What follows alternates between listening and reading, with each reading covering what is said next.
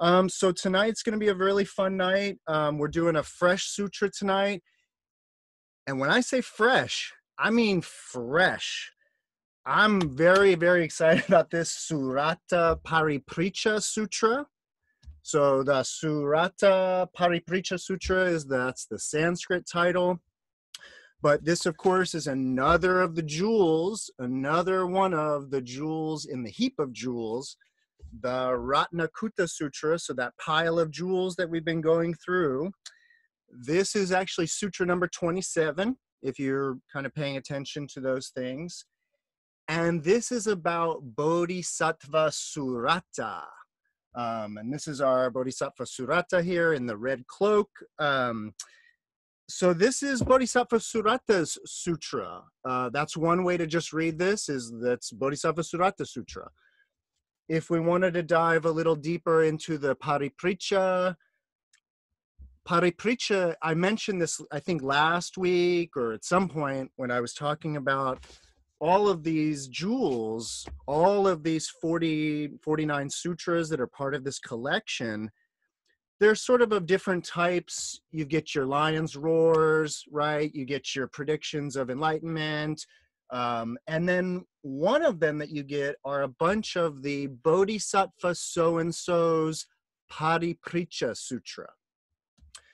If you go digging superficially into Paripriccha, it would be the the questions of so and so the questions of surata but you go digging in even a little deeper into this word paripriccha and you realize oh, wait a minute these people it's like it's interesting it's not so much a q&a um, and just for anybody who's interested there's a really kind of interesting connection here between this word paripriccha and an apology but in the traditional classical sense of an apology so like early christian apologists these were post jesus early era of the christian movement and they were people who were sort of making their case for being christian.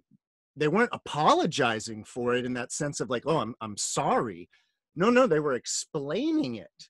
And so, in a, in a, originally, actually, this word apology was a laid out explanation of like why you should believe something or why it's logical to be this, this, and that. There's sort of some crossover with that idea of and paripriccha, and we'll see that tonight. This is about Surata's Surata's discourse. I, in, in many ways, it's actually not so wrong to say that this is Surata's sutra. Like he's going to give us the sutra tonight in a way so that that'll be interesting to pay attention to that um again this is a fresh sutra this is really really uh in my opinion really exciting it's kind of like everything that you want in your eastern wisdom text you know we're gonna have like pithy quotes we're gonna have a hero we're gonna have all this this wonderfulness tonight um I'm to read it. I'm more or less just to read it almost in its entirety. I've only decided to truncate it a little bit for time's sake here and there. Um, so it's one of those sutras that speaks for itself. It's crystal clear. I'm just going to fill in a few mythological elements that I've illustrated on the board. Other than that, though, I think the only thing that's kind of helpful to know is surata the this Bodhisattva Surata. The name you might notice if you've been, you know, coming to the Dharma doors or studying this uh, Dharma, that a lot of these words have the pre- prefix, have the prefix of Su, S-U. Uh, Su Meru, like this is actually Mount Meru, sometimes known as Su Meru, the beautiful Meru, something to that effect uh, a, uh, one of the stars of many of the sutras is Subhuti. Yeah, Buddhi is kind of this awareness or this kind of enlightenment, and he is this well enlightened or Subhuti. Um, and this is Surata. And Rata is going to be this for tonight. And I needed to tell you this because it's like if you don't know this going into it, it, it just loses a little bit. Surata it's Rata seems to be this kind of easygoing, yielding, gentle, mild, chill. Like when I'm reading through the dictionary, I'm like, oh, it's just, chill. So he's well chilled out. He's like well chilled, well, well, well chilling is Bodhisattva well chilling tonight, I think is how we're gonna gonna do it. So uh, here we go. Uh, again, I have a few things that I'm to explain as we go along, but this is just a fun story. This is a fun story. So, uh, thus have I heard. Once the Buddha was dwelling in the garden of Anathapindika in the Jeta Grove near Shravasti, respectfully surrounded by 500 Shravakas and 10,000 bodhisattvas and many others. Right?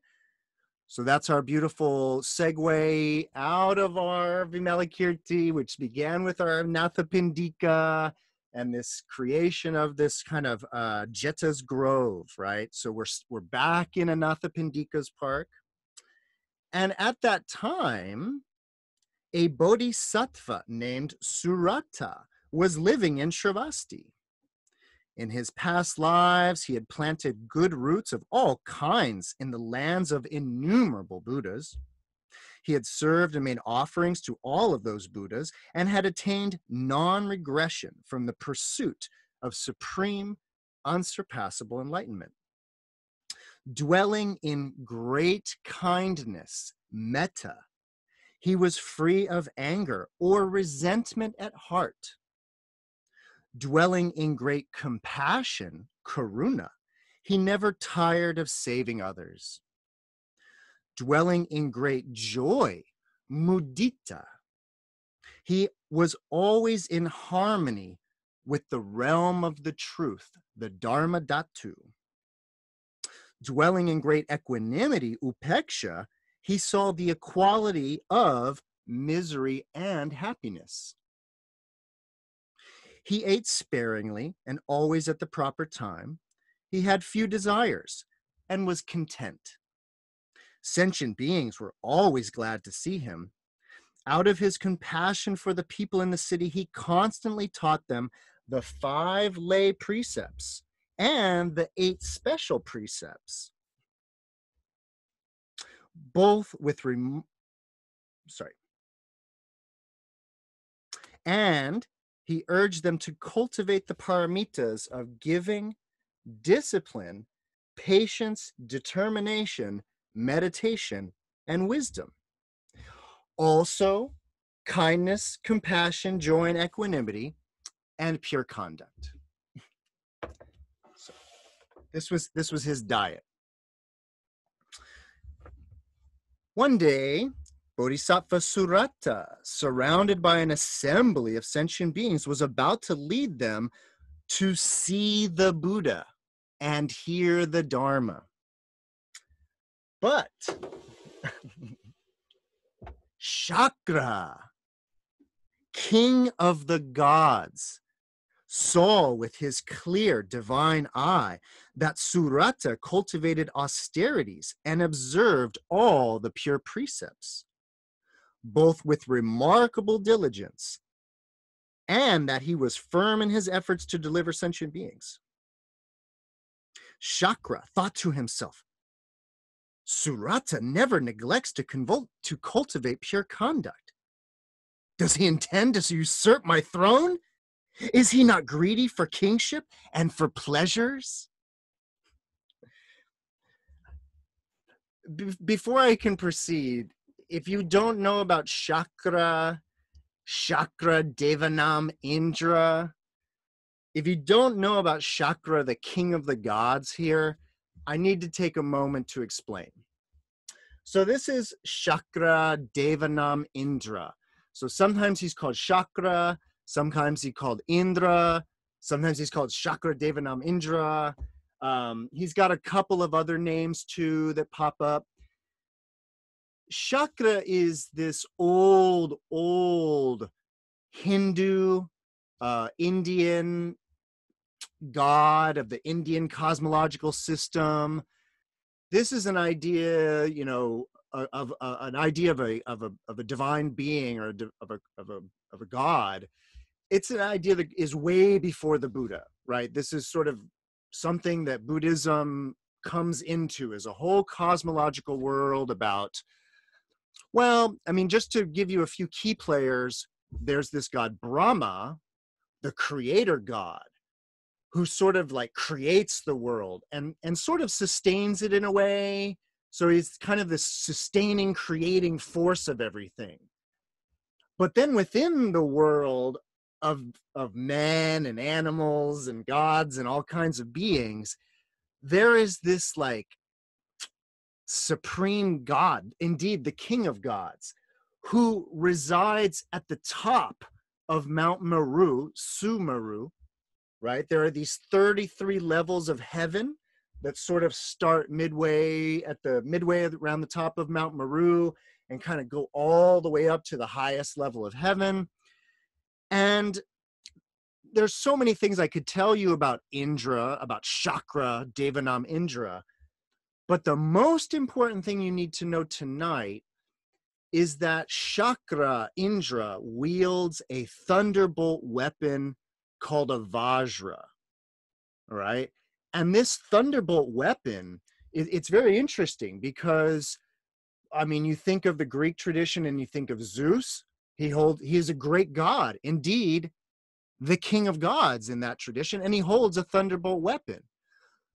Thor in the Norse mythology holds a thunderbolt hammer, also a king of king or king of gods in that tradition and Chango, the Orisha in the, you know, the Yoruban Santeria tradition, also carries a thunderbolt weapon and is a god.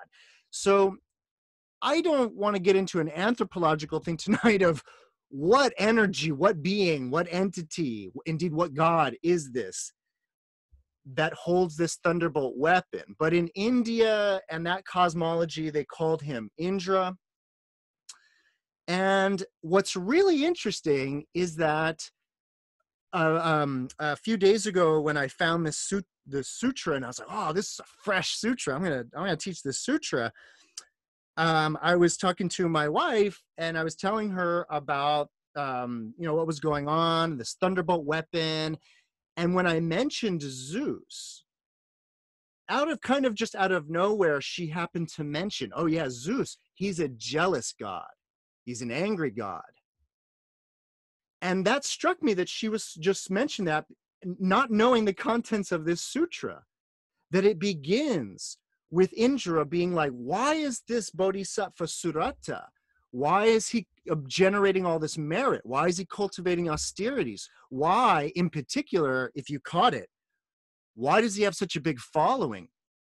Oh, he's got this big following. He's cultivating austerities. He must want my throne and so it, it, interesting that across culture the thunderbolt wielding god is a jealous god.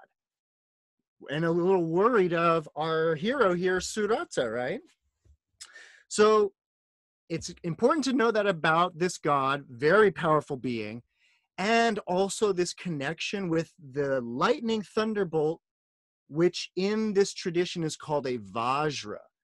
This is a the vajra this and i've mentioned it before that in the buddhist tradition this becomes symbolized by one of these right? So this is a vajra. So that'll that'll come in a little bit later. Everybody good? Everybody feeling nice about surata you know bodhisattva pinnacle of virtue really?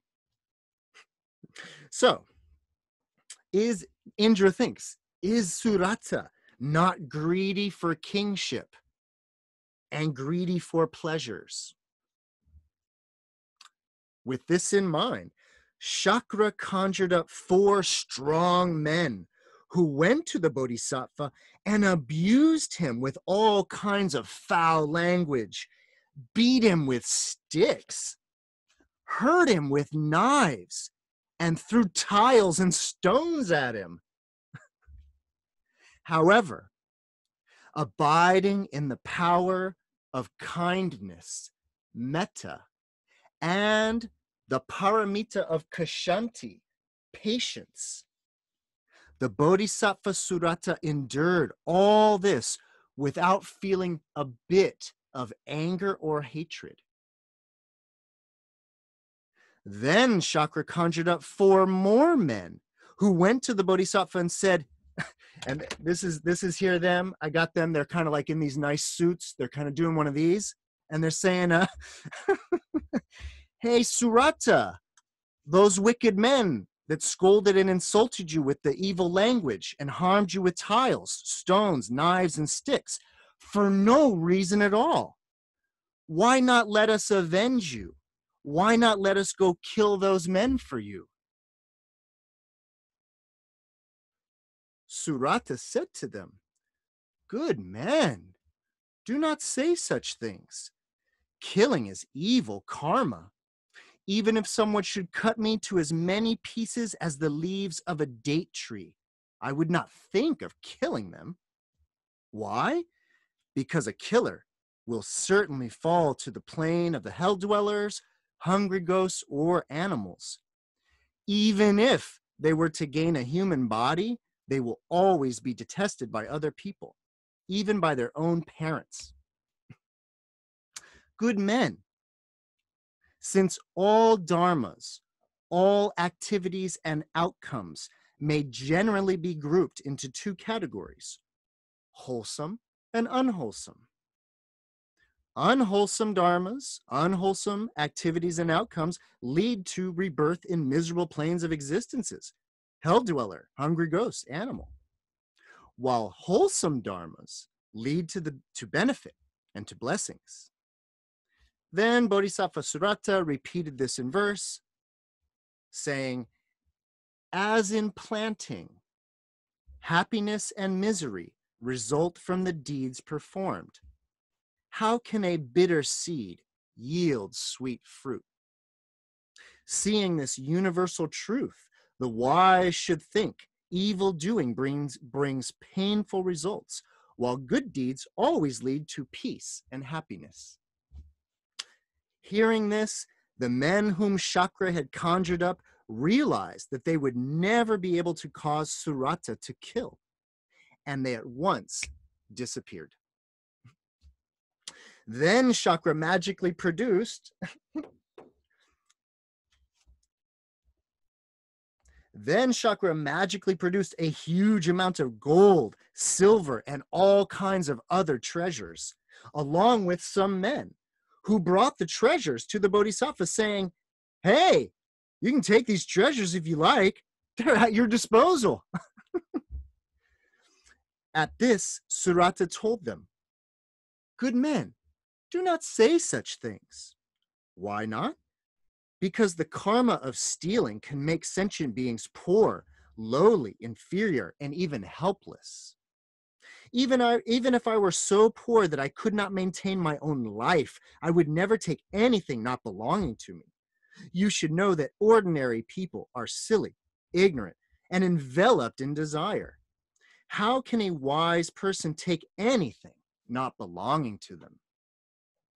Then Bodhisattva Surata spoke in verse again, saying, One who accumulates billions and is greedily attached to their wealth unable to give it away, is said by the wise to be a man even poor in the world. A penniless man who will readily give whatever he has is said by the wise to be the noblest and richest on earth. The wise, being free from all evil, have forms of perfect magnificence, but fools, due to their transgressions, are ugly head to toe. The wise persuade others to do good. Fools are always up for evil. it is better to be scolded by the wise than to be praised by fools. When they heard this, the men conjured up by Shakra went away disappointed. Then Shakra himself went to test Surata, taking with him an even greater amount of gold. He approached the Bodhisattva and said, I have been in contention with some people in Shravasti in the court of King Prasenajit. I need someone to give false testimony for me. If you can give if you can give false testimony for me, I will give you all of this gold. the Bodhisattva told Shakra, virtuous one, you should know that it is an evil karma to lie. A liar lies to himself, as well as to gods, nagas, yakshas, gandharvas, asuras, garudas, kinnaras, mahoragas, and all other heavenly beings. Lying is the origin of all evil. It leads to rebirth in the miserable planes of existence, to breach of the pure precepts, and to corruption of the body. A liar's mouth will often reek, and his words will be scorned and despised. Then Bodhisattva Surata spoke again in verse, saying, A liar's mouth will give off a stench. He will fall to miserable realms where no one can rescue him. A liar lies not only to gods, nagas, mahoragas, and to others, he also lies to himself. Knowing that lying is the origin of all evils, it destroys one's pure discipline and brings one to rebirth in the three miserable realms. Even if you gave me enough gold to fill the entire world, never would I tell a lie. Hearing this, Shakra disappeared at once. Then he ordered his wives, the goddesses Sachi, Surya Prabha, Panchachuda, and others to go to Surata to test him again by trying to make him break the precepts. Along with 500 other young goddesses, Sachi and the others anointed their bodies with perfumed ointments and adorned themselves with flowers and other beautiful ornaments. They went to the Bodhisattva late at night, saying, we are lovely women in the prime of our life. We wish to share your pillow and your bed so that we may enjoy so that we may enjoy each other. Looking at those women with his pure stainless eyes, Surata said to them in verse, confused and full of impure thoughts, fools are attached to the foul body, filled with pus and blood all that they desire, though, will quickly perish and pass into naught. Then such fools will fall into the lower realms, the realm of Yama, and there remain.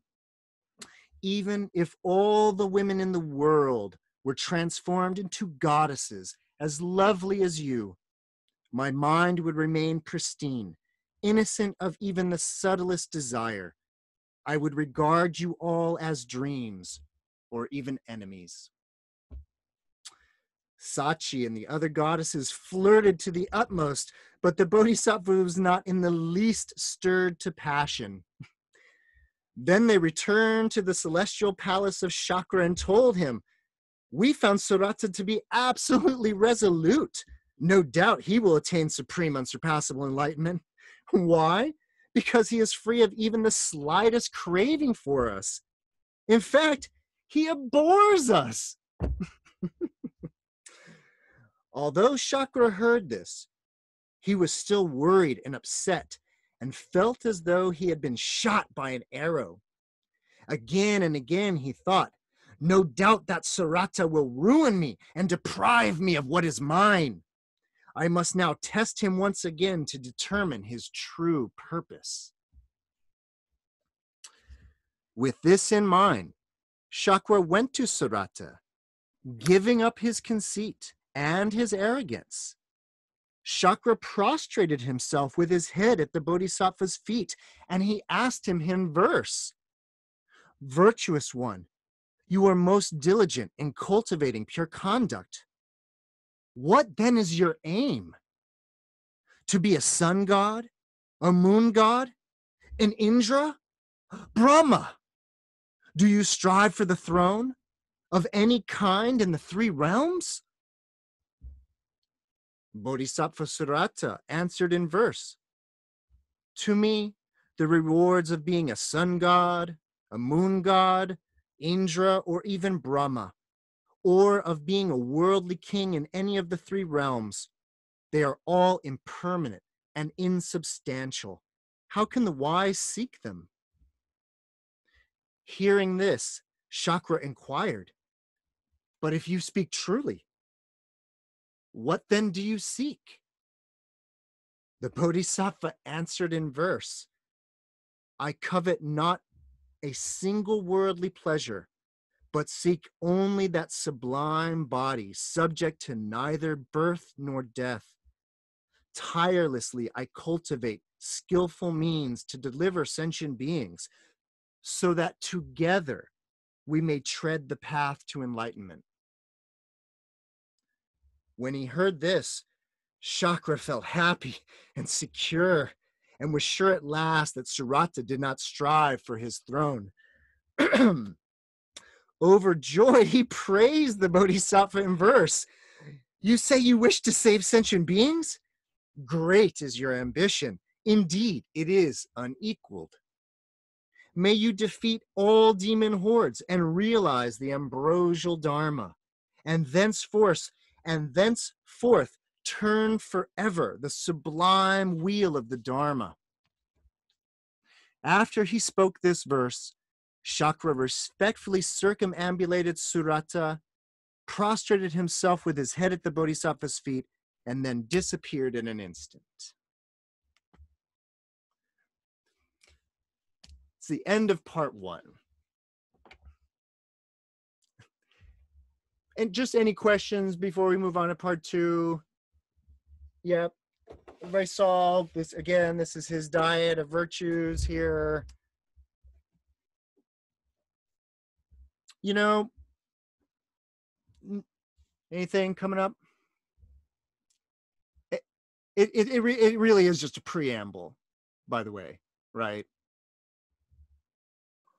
Okay, so let's we'll we'll I'll I'll get into to part two here, and and then we'll and then we'll have some fun.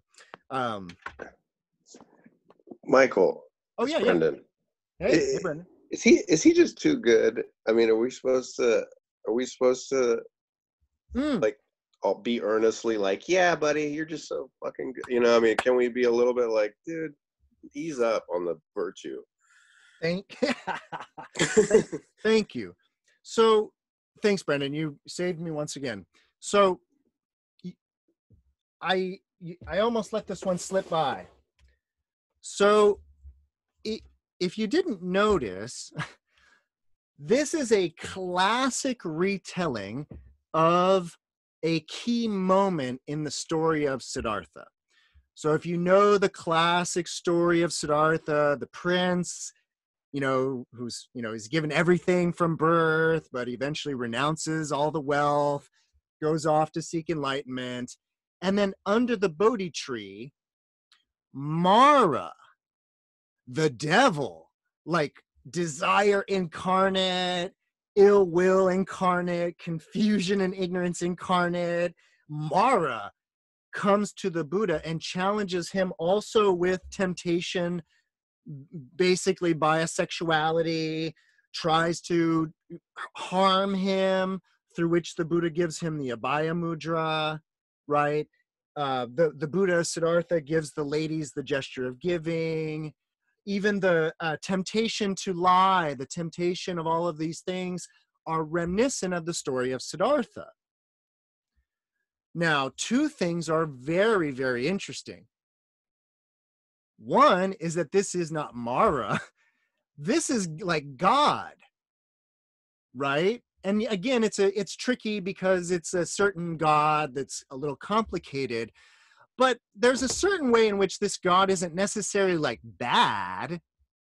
He's like angry, jealous, and these things, but there's a way in which even this God is considered sort of like noble, if you will. So it's interesting that this high God, King of Gods, is the one doing the tempting, the challenging, not Mara. So that's interesting. But then, even more interesting than that, of course, is that this is Surata, Bodhisattva Surata. This is not Buddha, Shakyamuni. Like this is not the grand historical Buddha, right? This is this is you and me, Brendan. This is this is everybody. That is the idea of the Bodhisattva path, is that we too are the Buddha under the Bodhi tree, defeating Mara's hordes and even being tempted by God and being tempted by wealth and being tempted by these things. So this story is a wonderful, uh, important, important. This is not just a retelling of the Siddhartha story. This is that really sweet, fresh Mahayana thing where they're like, oh, we started we started idolizing this dude. We started thinking that only the Buddha could defeat Mara. We started thinking that only this exalted being from another dimension or another planet or universe could achieve enlightenment. The Mahayana is a response to that kind of level of adoration in that way and saying, and no, no, no, time out. The message of that story was that we all are suffering and all have the ability to overcome that suffering. That's the message. So this bodhisattva path being being presented here, Brendan, it's it's like no, it's just it's like yeah, he's he's pretty special. I mean, again, you know, in the beginning, he's a non he's at the stage of a non-regressing bodhisattva. That's pretty high level. So I think that there's a way in which Allah Siddhartha we're still to read this allegorically we're still to see this as like um the the peak the pinnacle of virtuous behavior that even even these people coming and hurting you you have no ill will towards them right we all I, I hope we all strive to reach such a point. I, I strive to reach such a point right? So he does indeed embody the ideal but the message here is that it's it's achievable. It's not an exalted state by some sublime being in that way. So. And it's not trying to like necessarily like make the lay buddhist path heroic. It's more like hey you know yes this is a human struggle but not like you don't have to be a demigod or you know or a god to like uh to to to not succeed but to follow this path even better than that yeah, part two. Part two. Okay. Even thank, better than thank, that. Thanks, Michael. No, thank you, Brendan. Again, you saved me. I almost let that pass by, and it, that's key to seeing the the the beautiful allegory here.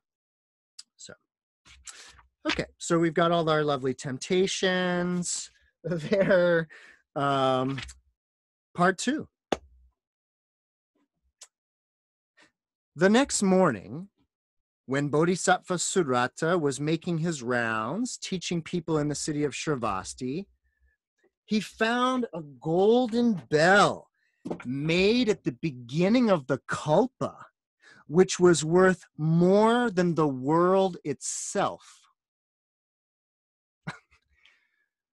So, just in case you don't know about a Kalpa, that Buddhism and kind of Indian cosmology measures time in these giant epochs, these giant eons.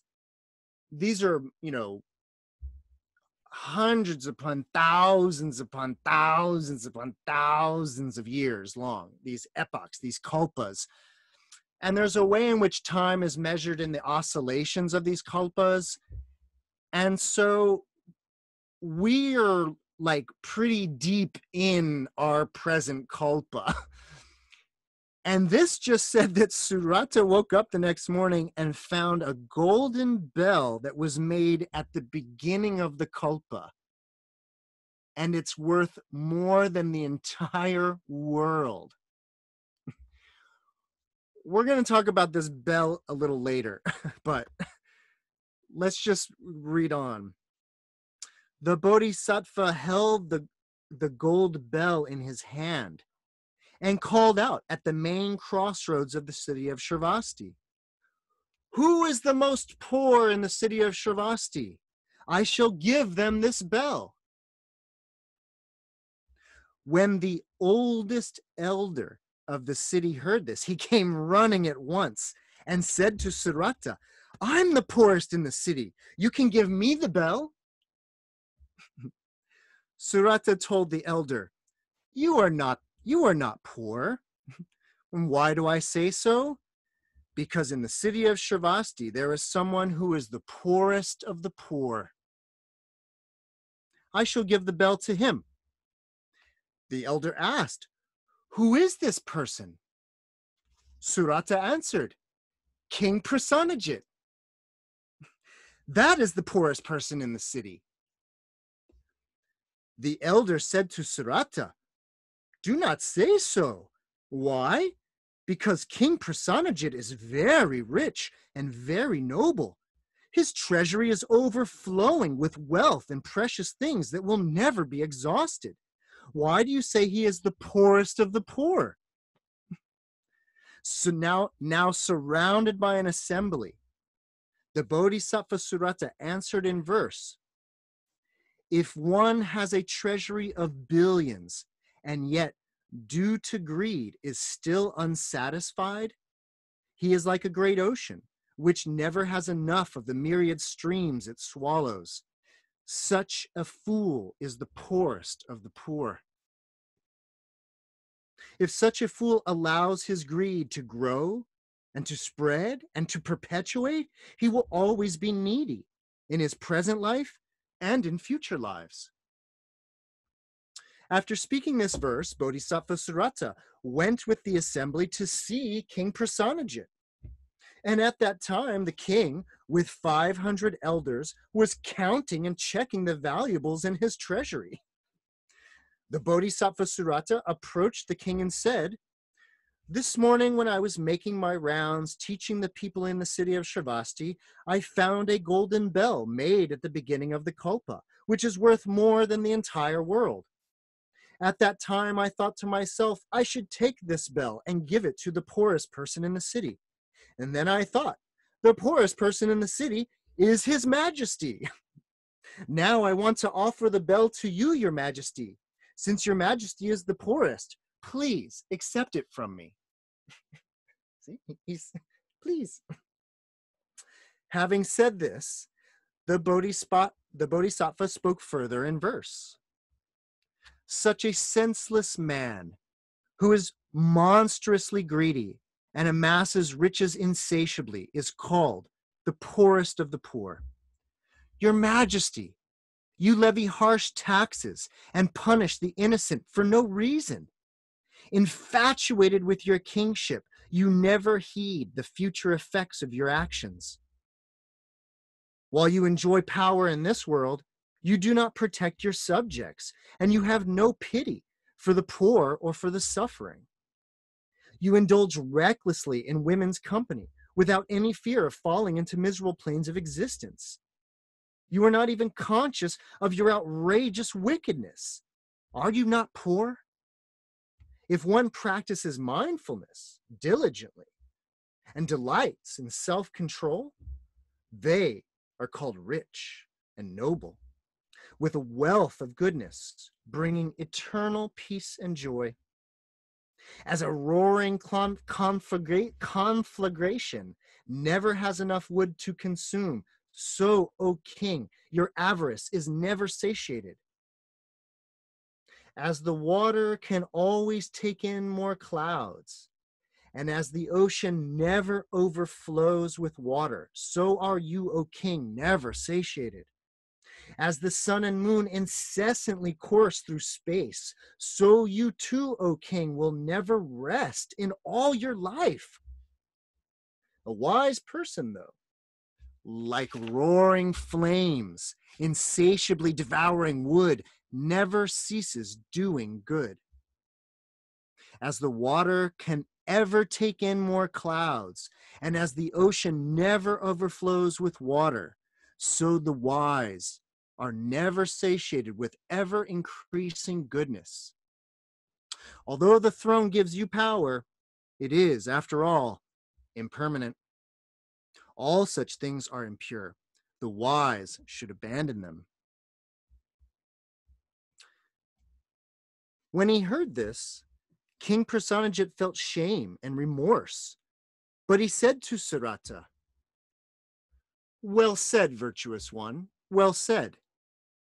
Although you are very persuasive, I still not I still do not believe you.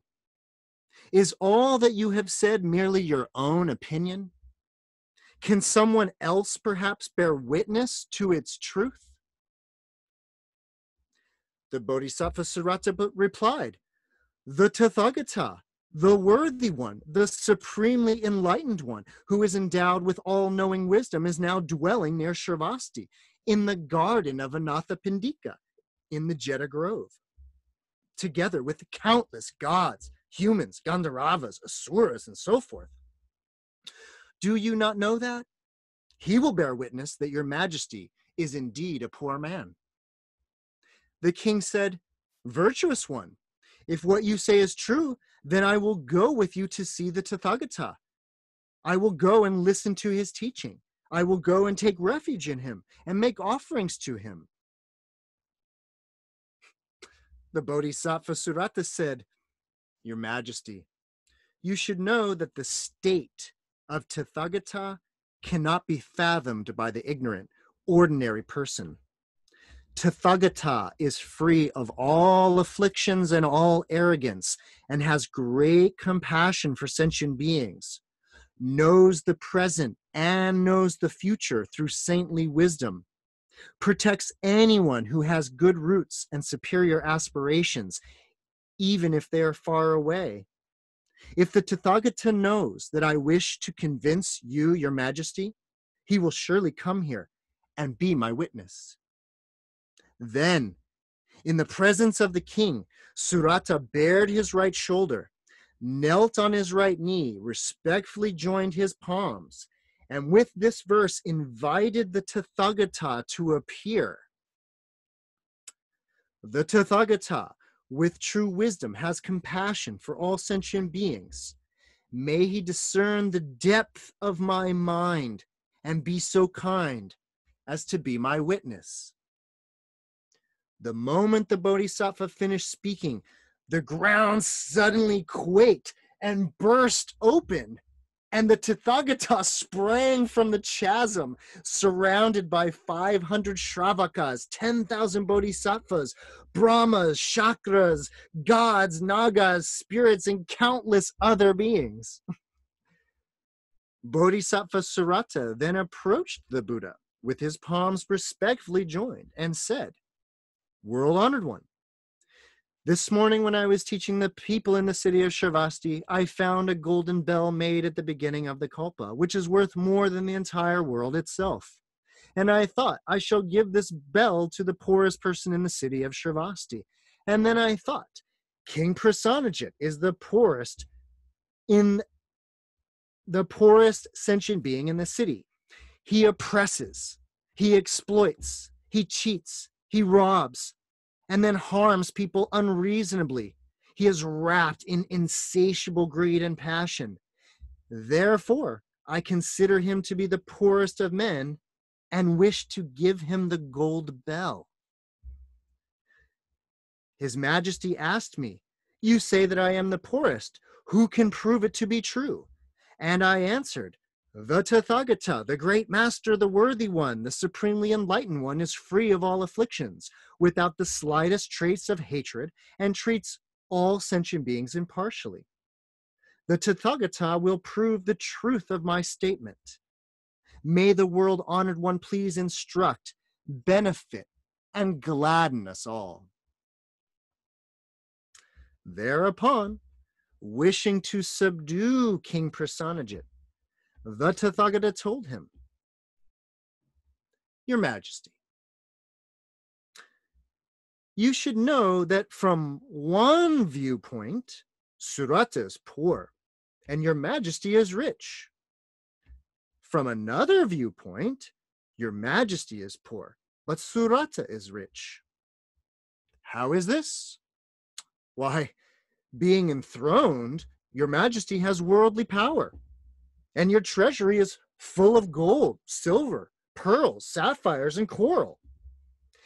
In this respect, Surata is poor, and your majesty is rich. However, Surata cultivates pure conduct diligently, delights in the pure precepts, has left the household life, has acquired great learning, shuns self indulgence, tirelessly delivers large numbers of beings by teaching them the five lay precepts and the eight special precepts. Any one of these merits is enough to show you that, show your majesty.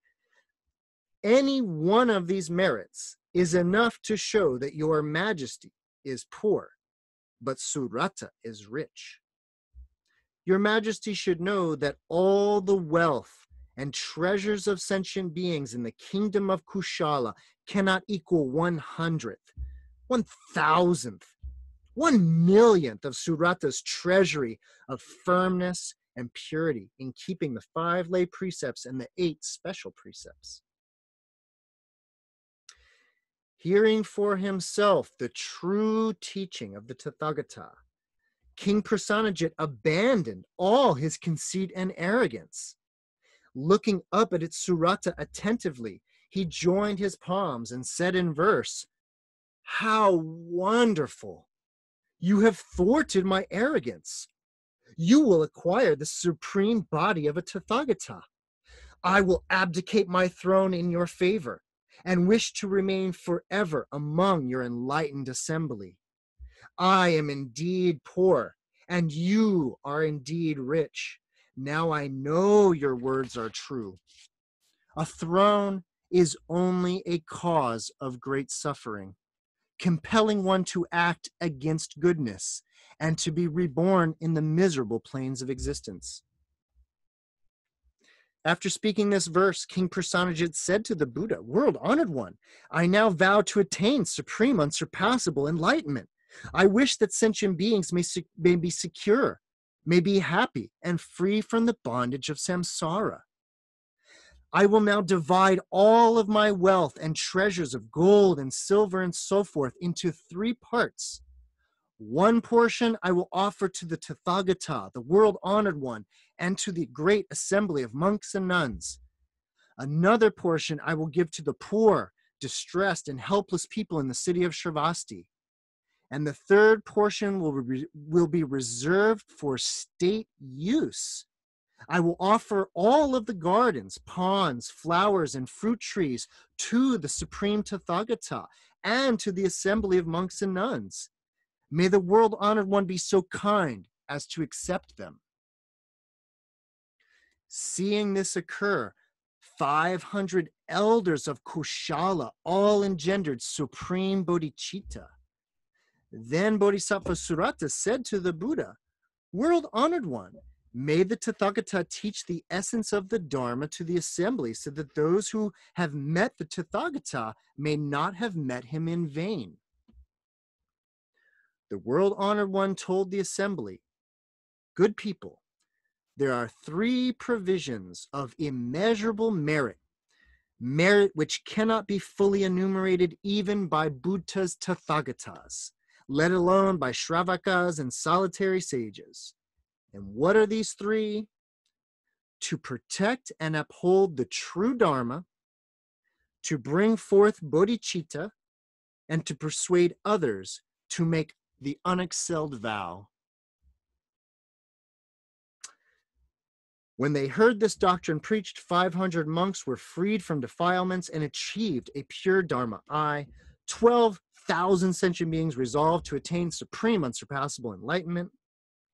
After benefiting sentient beings by preaching the Dharma, the world honored one, together with the monks and all the others who had appeared with him, suddenly disappeared.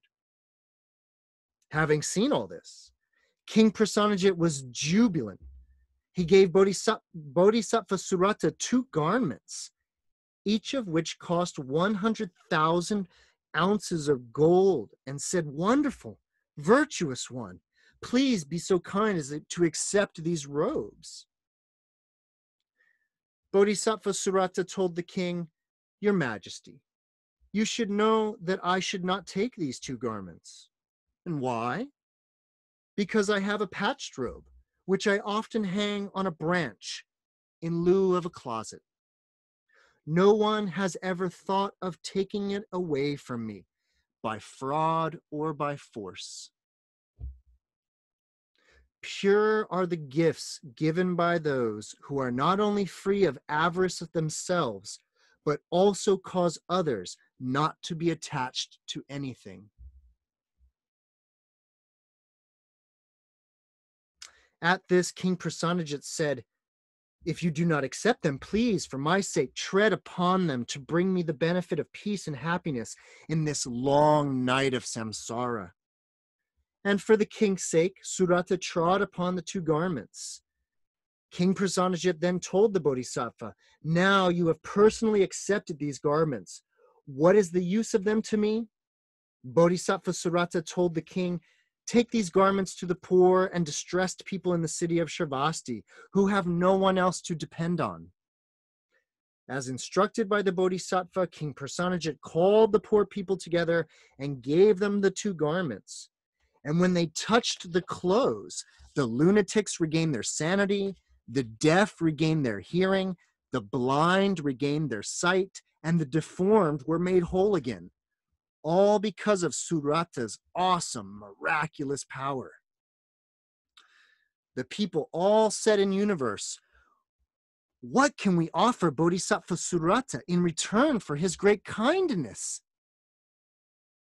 A voice from the sky told them all, Know that you can repay his kindness by offering him flowers. Sorry. Sorry a voice from the sky told them, Know that you cannot repay his kindness by offering him flowers, incense, food, or beverages. You can do so only by immediately engendering bodhicitta.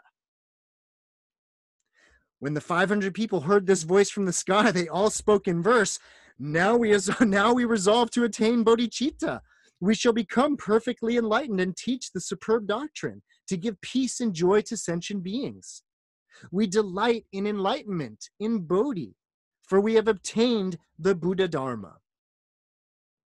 Then King Prasenajit said to Surata, Wonderful virtuous one, please tell me when you when will you go see the Tathagata, because I shall follow you. And Bodhisattva Surata advised him, your Majesty should know that it is very rare to meet a Buddha and to hear the true Dharma. Your Majesty should not go alone. Instead, be a good friend to sentient beings and take all the people of the, of the city of Shravasti with you. And why? Because just as a bodhisattva is adorned by the retinue surrounding him, a king should also thusly be adorned. King Prasenajit asked the Bodhisattva Surata, What is the retinue of a Bodhisattva? Surata replied, To persuade sentient beings to engender bodhicitta, that is the retinue of a bodhisattva, because it causes them to be enlightened. To persuade sentient beings to see the Tathagata, that is the retinue of the bodhisattva, because they will not be misled to persuade sentient beings to hear the true Dharma.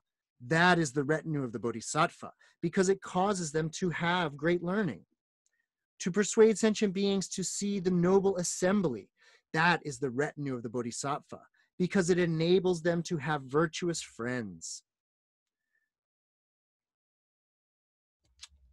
The four acts of giving are the retinue of a bodhisattva because they attract sentient beings to the Buddha Dharma. The six paramitas are the retinue of a bodhisattva because they enhance the growth of enlightenment. The 37 ways of, to enlightenment are the retinue of a bodhisattva because they lead to the sight of enlightenment. Adorned and guarded by such a retinue, a bodhisattva can defeat, can defeat demon hordes, make the lions roar, and ascend to the supreme state. At this, King Prasenajit and the entire assembly were overjoyed. 9,000 sentient beings were freed from defilements and obtained a clear Dharma eye.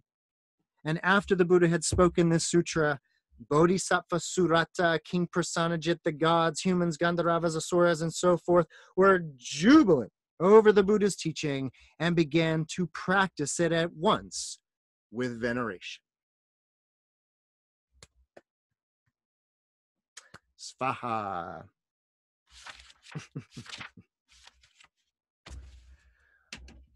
okay. So, perfect. Lots of time to chat, questions, answers, ideas, go over some things. You know, where, where do you want to start? I have a quick, quick question um, or thought. I was just struck by how in this in this sutra, it, it's you know Surata is very much venerated because he's not a householder because he's he's left behind the householding life. That's that's brought up as one of one of his big uh, you know pluses of his his path, and I'm just wondering how that um, you know juxtaposes with Vimalakirti's life as a someone in the world who's you know uh, sort of not thumbing his nose at, at the monastic path, but it seemed like there was a lot of conversation between um, you know him like Vimalakirti as as a kind of a person of the world who's pursuing the Buddhist path, um, not not necessarily needing to be an ascetic. Mm-hmm. That makes sense. Yep. Yeah. Man, I'll tell you, there's a lot to that. So, so the first thing, so yes, it, it says that he's left the household life, but it also says this interesting thing that he's like really excellent at observing the five lay precepts and the eight special precepts, which by the way, I just wanted to mention those because the text doesn't go over them. I would be a, um, a bad Dharma teacher if I didn't go over this. These are the five precepts with the three extra bonus ones. So there's not another eight, if you didn't know, there's five. And then if you're going to go to a ceremony or you're going to go to a ritual or something's coming up, you'll start to observe these three extra ones. So for a lay Buddhist, if lay Buddhists in the audience, these are the five precepts that as a kind of Buddhist sort of observing pure conduct, one and the language here, by the way, in Buddhism is very not it's not thou shalt not. It's the language is abstain from. Try to watch it. Try not to abstain from the taking of life and that's of course within the buddhist world kind of considered pretty broad some it's sort of strictly murder of human beings others take it to be any kind of intentional taking of life and every gradation in between. Abstain from taking what is not given. And i wanted to mention this what is it? At, atadana. Atadana. Taking what is not given but it's actually a kind of a dana a form of giving but it's a it's an atadana. And when i first heard that it was atadana it sounded very onomatopoetic to me like a mother atata atata atatana so just a funny one there so the second one is atadana don't take what is not given i.e stealing the third one gets the most uh like what did he mean? What did he mean by sensual misconduct? What did the Buddha mean by sensual misconduct? Usually this is taken as abstain from sex. Usually. Um I'm actually kind of a fan of being like abstain from taking life, abstain from taking stuff, and abstain from taking sex. right? Like, if it's freely given, yeah. So there's a, and of course, if you're a monk, again, this is no sex, but within the lay community, this is uh, number three is actually within the lay Buddhist community, usually taken to mean adultery, stay, basically one partner type stuff. But again, I'm not, I don't want to get too into all that. Interpret it like you like. Abstain from false speech, lying, we saw in the story. And then the fifth one, also a lot of debate about what the Buddha meant. Uh, abstain from intoxicants, um, abstain from drugs. in particular, the Buddha seems to have been really concerned about anything that would cause sleepy drunkenness. So just consider that in terms of like what the, not the letter of the law, but the message of the law in that way. And then again, if there's a ceremony or a ritual, Buddha's birthday, something coming up, you would then start to do the, the, the monkish renunciatory practice of eating only one meal before noon kind of doing the monk meal of just eating once a day and trying to do it around midday. You would avoid entertainment, going to movies, going to shows, maybe not kind of watch TV and stuff that week. That would be an interpretation though. And then the eighth one is sleeping in a high fancy bed.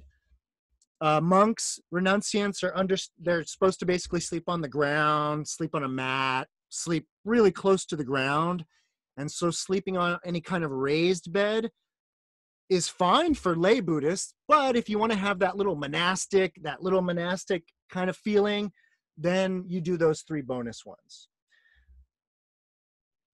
Coming back to Eric's question, this it says that he was really good at observing the five lay precepts and the eight lay precepts.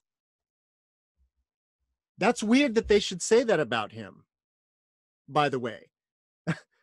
It's just something interesting. So now begins my real answer to your your question comments about this thing. There's a there's like this book uh, called the Bodhisattva, the Bodhisattvas of the Forest and the Formation of the Mahayana. It's a study of one of the Ratnakuta Sutras, just one of them, but it's a it's a study of your question actually. It's a study of this forest dwelling bodhisattva the renunci- the renunciation. I i don't know how to like really put this like it's it, it's so much about vimalakirti and it's so much about a lot of these sutras where it's like they they say explicitly in Vimalakirti and then a number of the other Ratnakutas, they say explicitly that like to become detached from your stuff, to become detached from all that, that's renouncing the home. That's that's leaving home.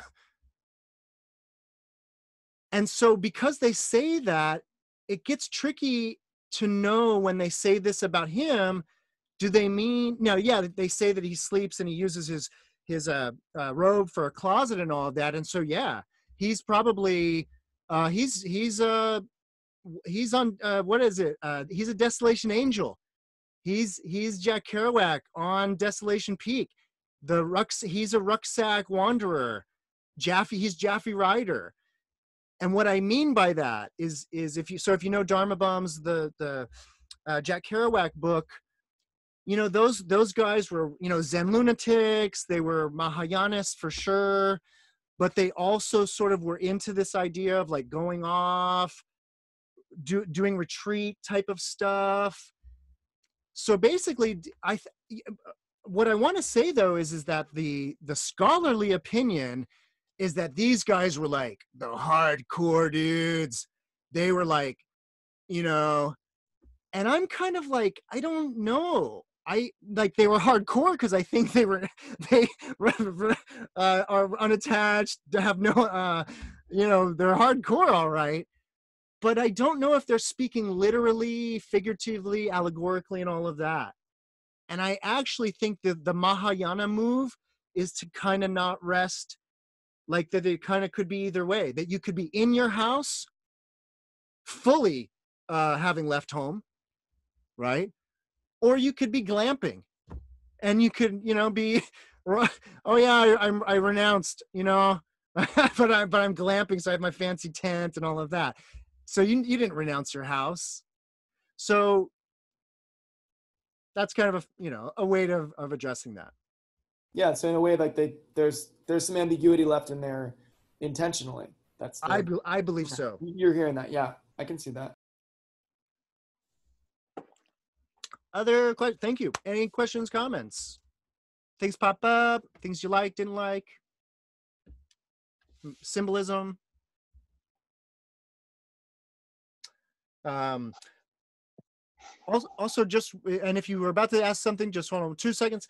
This is also, by the way, a great sutra for outlining the bodhisattva practice.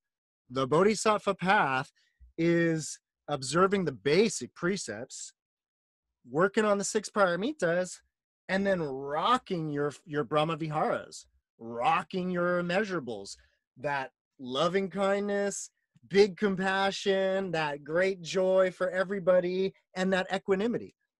That's the Bodhisattva path. So.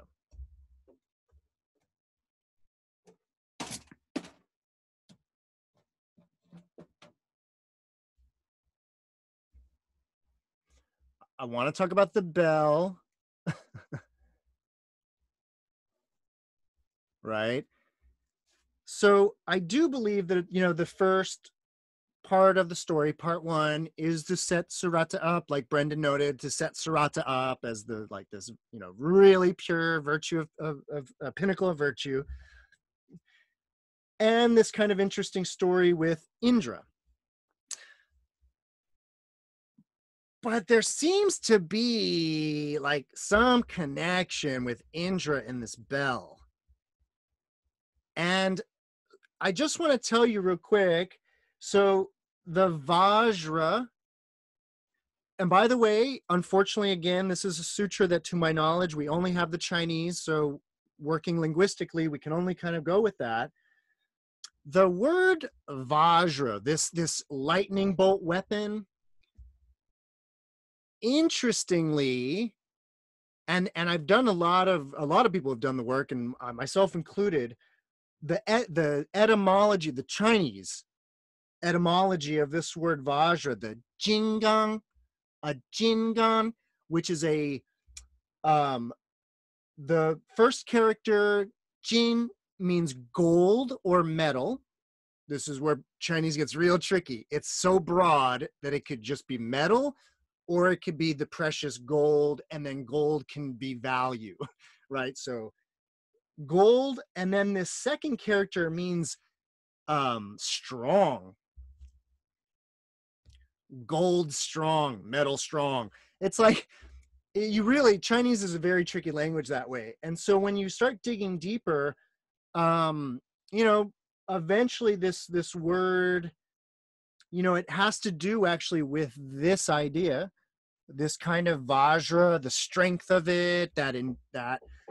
Well, interestingly, this golden bell is also it's a it's a Jinling, so it's the same character, the first one, which is a weird character. Again, it has this deep connection, and then without uh, boring you with all the research I did, you go digging very deeply into the idea of a jinling, of a golden bell, and right away you're confronted with the Vajra bell.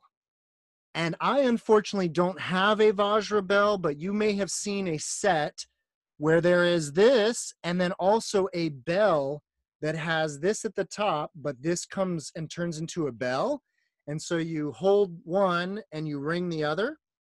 So the Vajra and the bell, the lightning and the thunder, the masculine and the feminine, there's a lot of going on with the bell and the Vajra. This is very much the phallic uh, masculine, and the bell is very much the yoni feminine. So part A, part B, the Vajra, the bell I'm my suspicion, of course, is that this bell is Indra's Vajra in a sense, or it's sort of this gift of Indra after this first exchange. This kind of well, again, if you think of the bell and what I just told you about the lightning bolt, thunder god, there's this like really wild idea of bells. This is why the Tibetan Buddhists are so big about their gongs and bells and Vajra bells, by the way. There's this kind of thunderous roar of the Dharma that arises from the this idea of a bell. And I think that's what's going on here. But then there's this then there's this little beautiful extra part about that it's this bell that was made at the beginning of the kalpa right and of course more valuable than anything in the world right so in the uh in the large perfection of wisdom sutra this is the large prajnaparamita sutra there's a story about Indra giving his Vajra to the Buddha. Like, that basically, if I may paraphrase the story quickly, Indra, Devanam Indra, the jealous, angry god, he was real short tempered and he'd bust the Vajra out at, you know, real quick and smote you. And very, very similar to the way that Surata pacified Indra.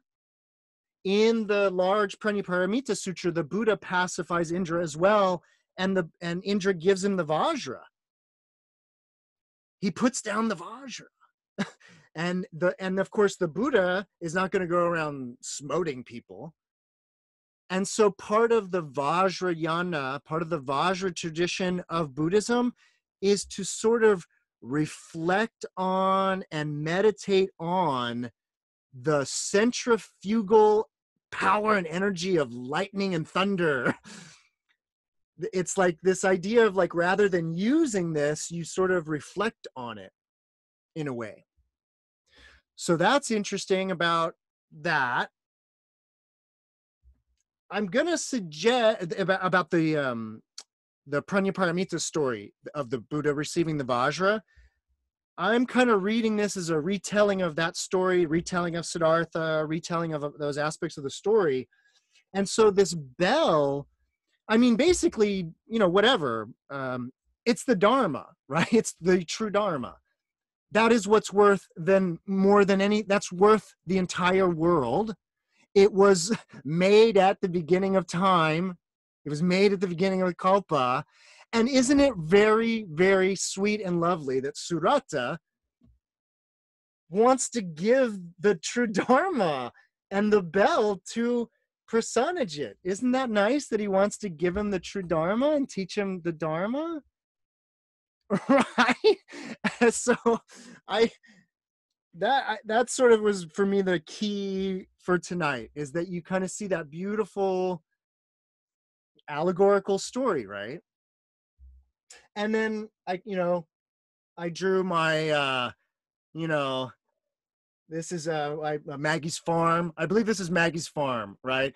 And so uh, this is King Prasenajit's treasury, right? He's got the the armed dudes out front. You know, I tried to draw some snipers, the barbed wire, the you know, and so this is this is what I meant at the beginning that I think this sutra is so fresh because of this idea of like what is wealth? What is poverty? What are we talking about? Who yeah, who's who's actually the wealthiest person here? The person who's afraid that lives behind bars?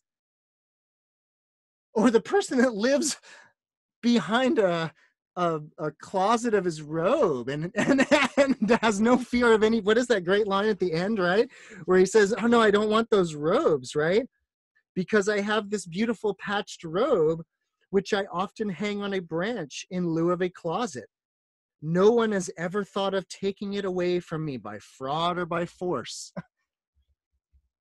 So it's this really de- deep you know dharma deep message of of like what are we valuing here? What is value? What are we valuing? What do we consider wealthy?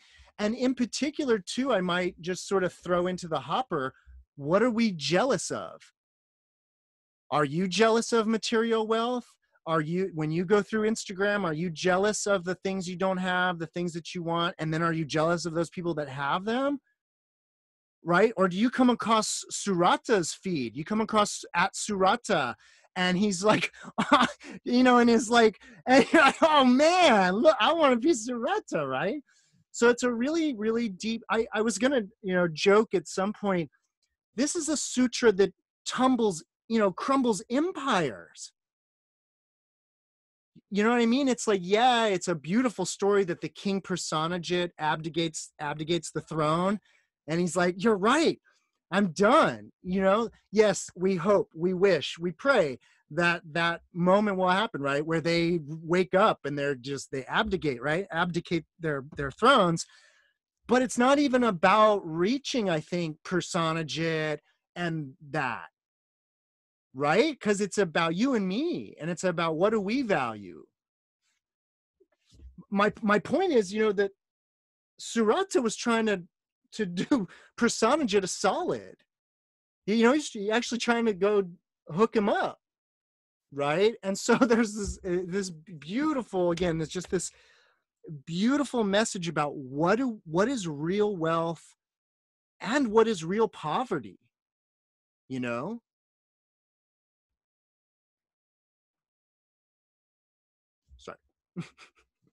I get all worked up.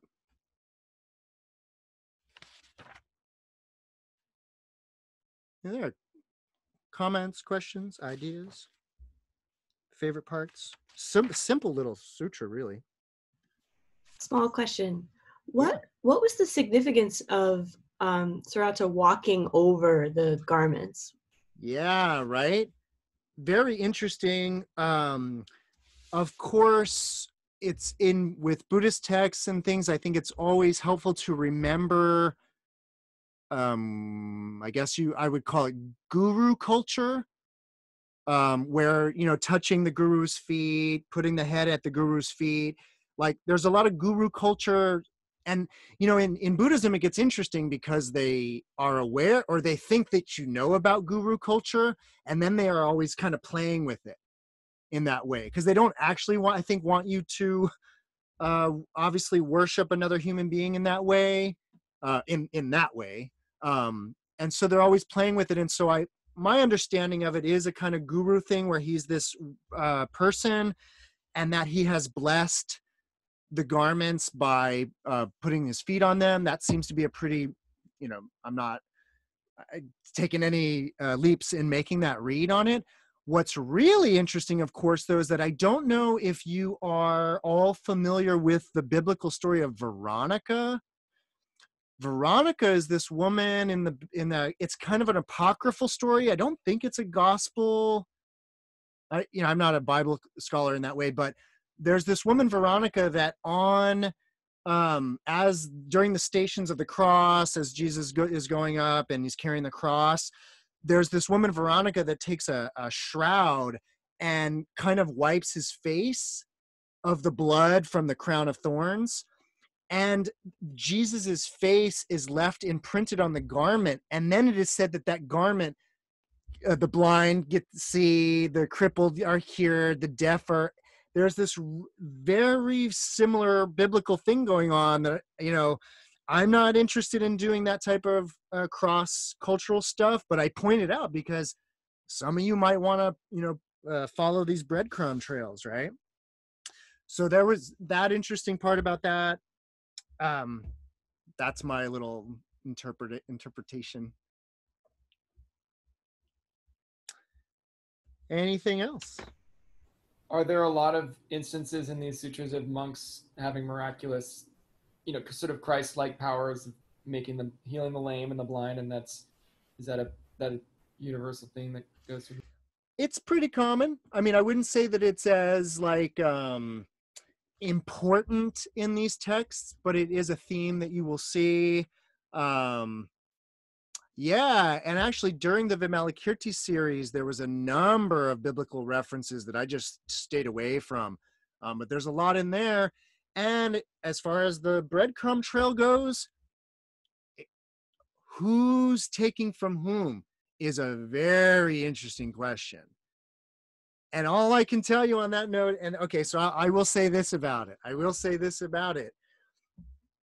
The Buddhists have a much better paper trail for where they get these ideas if you know what I mean, that there's like many sutras and then you can trace these sutras back and it's like, again, a paper trail.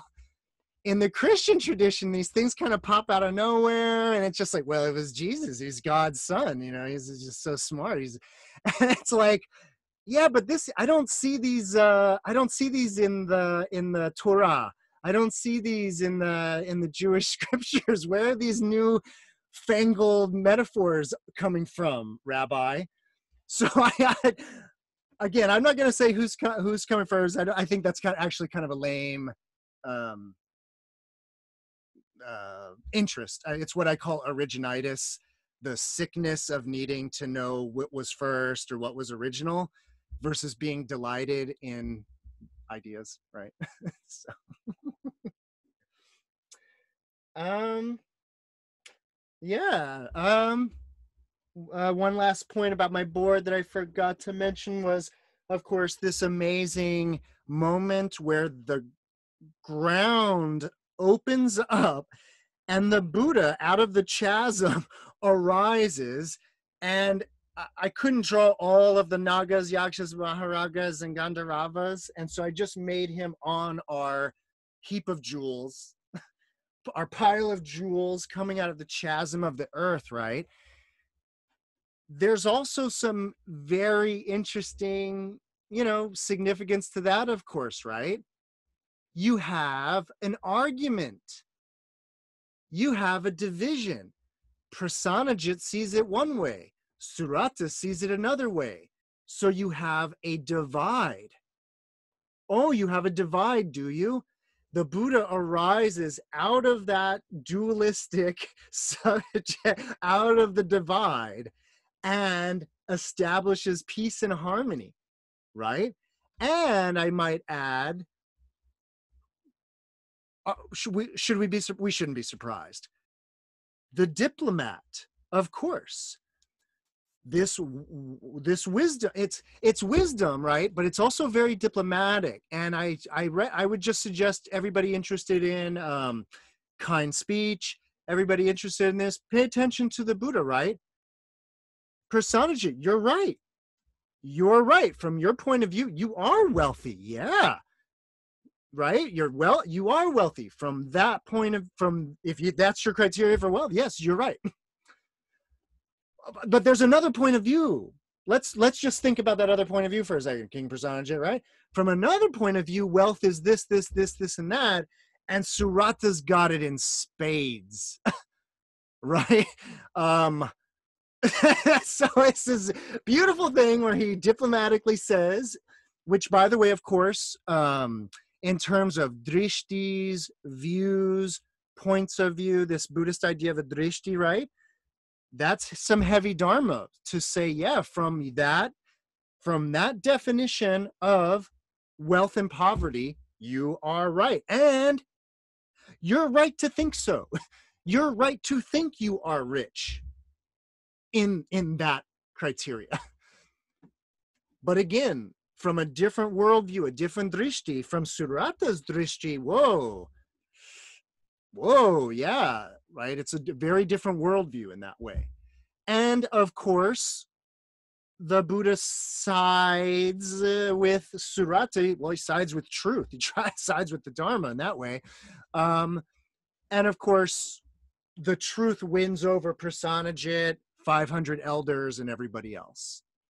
So again, just to share with you how this sutra was working, if you didn't kind of notice that beautiful, you know, just the, the it's a story about division, non-duality even, right?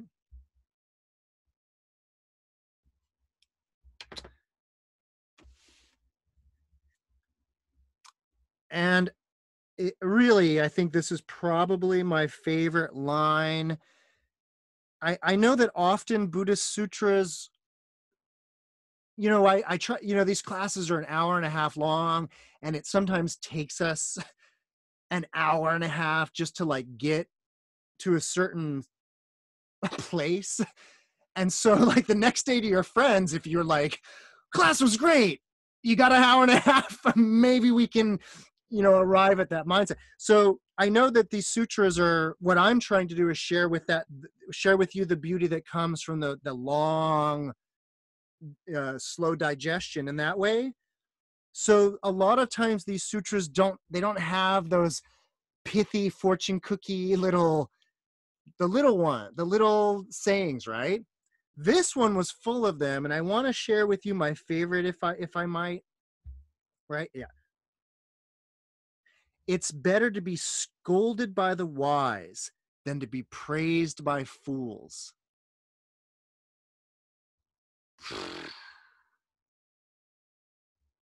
That's that's the lesson. That's the lesson. All right, folks. If there's no more questions or comments, What one one last thing, yeah, Michael. Yeah. I, I and I, I wrote in my notes at one point there's a flip on the imagery.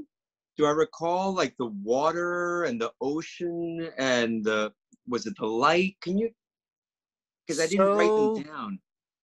what a flip, right? Yeah. Yeah, it's this one where he says that he's talking about the insatiability of the king. And he says, yeah. So, so talking about the insatiable greed, the insatiableness of the king, he says, as the water can always take in more clouds, as the ocean never overflows with water, so you too, king, are never satiated. As the sun and moon incessantly course their pace, you too, always, always. But then he flips it and uses the exact same language and says, and as the water can never take in more clouds, and the ocean never overflows with water, so the wise are never satiated with ever increasing goodness. Right? Oh, and I missed that actually. The first one, which was as a wise person, though, like roaring flames, insatiably devouring wood, never ceases to do good.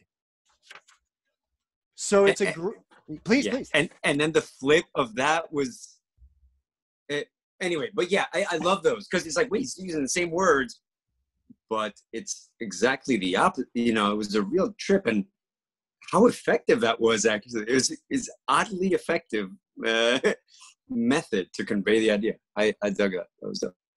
I'm I'm very glad you picked up on that. Um, yeah, in fact, when I was first reading it, I did the double take where I was like, wait a minute, but I thought un- insatiableness was bad, and it, well, not if it's for the Dharma, right? Not, and again, yeah, that's a beautiful Mahayana twist to this. So, thanks, Juicy. All right, folks. I'm going to turn it over to Katie for some announcements. Okay. Thank you, Michael. That was. A very timely sutra to be reading this week. So that was awesome. Thank you. Um, so I put some links in the chat. As usual, you're invited to practice dana. Um, if you can do that from a place of freely giving. Um, so there are links to do that in the chat. Um, but your presence is the best thing that you can bring to the Sangha. So thank you all for being here. And um, MC Owens will be back on the ones and twos this Friday um, for a talk uh, about Buddhist uh, models of money. So, Buddhist monastic ways of dealing with money, Buddhist models of money. Um, and so that's going to be interesting, particularly given the context we have now from this sutra. What is it to be rich and how Buddha's been thinking about that? So that's on Friday. And on Saturday, um, if you guys don't know this, we have a monthly Q Sangha um, that's open to anyone who self identifies as queer or questioning. Um, and that is one Saturday night a month, and that's this Saturday. Uh, so details are on our website, and uh, all are welcome. So see you back here on Friday. Awesome. Thanks, everyone. Thanks, everybody.